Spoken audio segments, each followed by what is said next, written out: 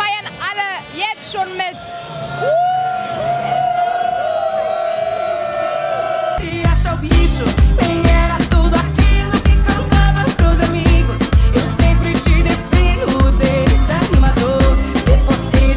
Heute äh, Spanien gegen Holland. Wie wird das Spiel enden? 2-1, hoffe ich mal für Spanien.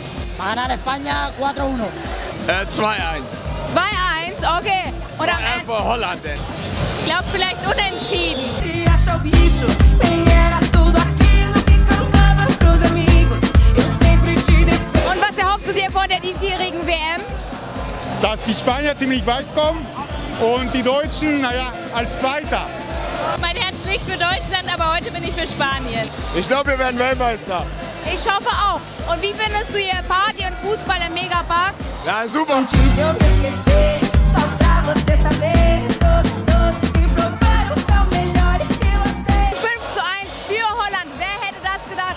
Schon vielleicht einen neuen Favoriten für die Fußball-Weltmeisterschaft? Ich freue mich auf jeden Fall schon auf Montag, denn dort spielt Deutschland. Uh, und ich gehe erstmal feiern.